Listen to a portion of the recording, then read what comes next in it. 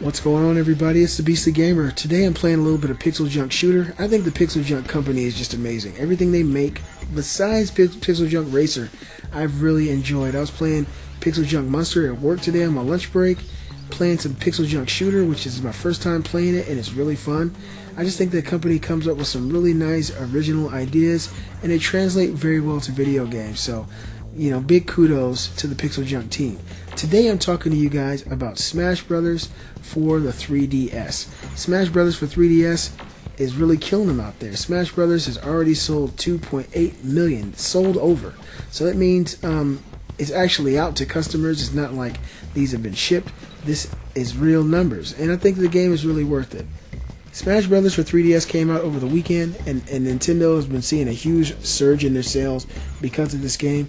I think that Smash is definitely a system seller, it's a system mover, and uh, I must say, I'm playing the demo version. I haven't bought the, the full fledged 3DS version, but I'm really considering it.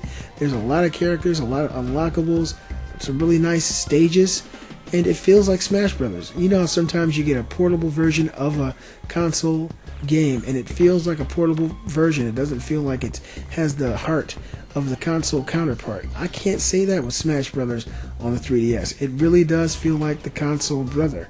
And uh, I'm really excited about it. Not as excited as I am about the Wii U version. I'll be picking up my Wii U. I probably already have it by the time you guys watch this video.